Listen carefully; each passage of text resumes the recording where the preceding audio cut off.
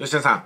今回ですね私の塾生さんのお悩み相談なんですけどもある大工さんの悩みですね、えー、この大工さんはですね、えー、最近弟子を取ったらしいんですよ。でその弟子と大工さんと共に私の塾生さんで頑張ってくれてるんですね。でこの大工さんっていうのは非常にね腕が良くってあの地域の人気工務店ランキングは常にトップ5に入ってるんですよ。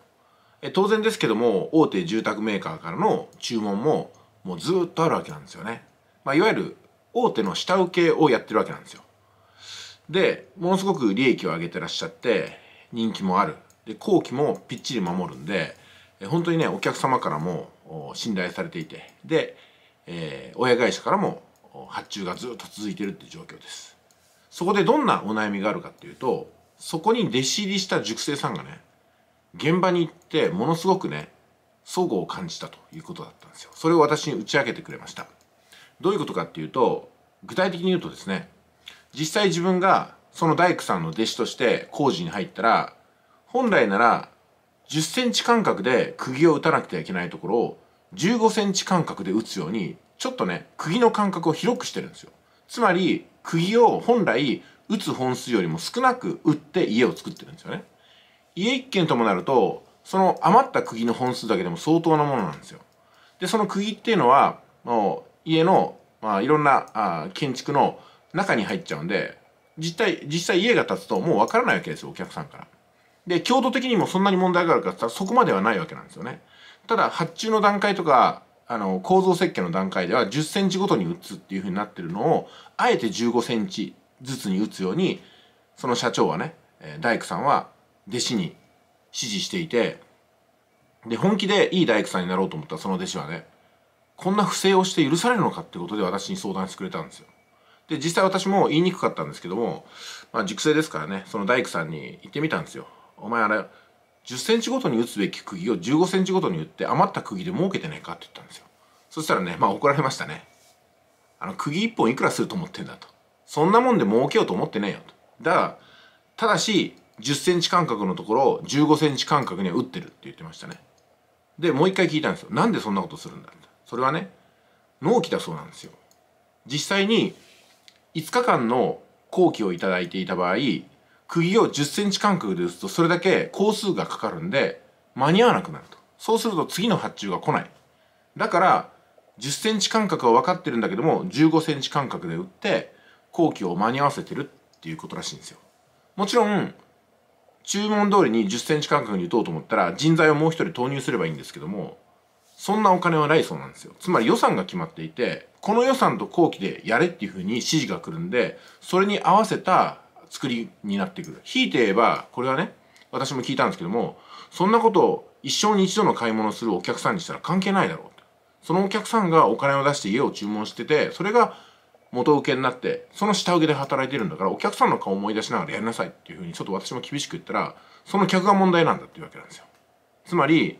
その大工さんはすごく腕が良くってねもう日本建築のいい家を何軒も建ててた人に弟子入りしてそれこそ修行してですね今の地位にいるわけなんですよ。でもその腕を発揮する場所がないっていうんですよ。でそこにものすごくね現実と理想のこのギャップを感じていてまあ本音をねその辺りから随分話してくれたんですけども俺もいい家が建てたいと。予算がもっともっとねあればいくらでもいい家が建てられるその腕はあるんだと。でもお客さんは予算を最初に決める。その中で最大限の理想の家を注文してくるからどうしてもどっかにしわ寄せが来る。それを現場の大工がどう工夫するかってことを案に元請けから求められているしそれはもっと言うとねお客さんがケチった予算でなるべく安く安く安くって言うから安っぽい家になるのはしょうがないよと。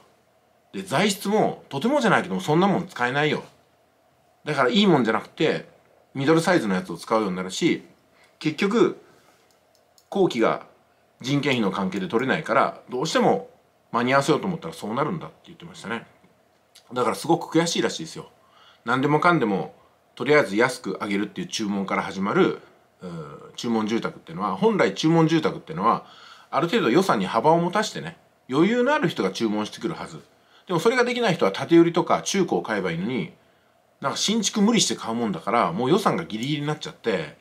で設計の段階とかね建築のデザインの関係でも本来だったら家の作りっていうのはデザイナーさんが進める方にやってほしいけどもそれだと予算が50万オーバー100万オーバーになるからあの本来この家だったらキッチンはここ水回りはこういう風な配置がいいんだけどもその動線を保つことができないから無理やり押し込めたようなね不自由な家になってしまってデザイナーさんも結構ねあの遺恨が残ってるらしいんですよ。いや本当にもうあと100万あったら最高の家でね何十年も暮らしていただけるのにいや本当に悔しいなとこの敷地があって、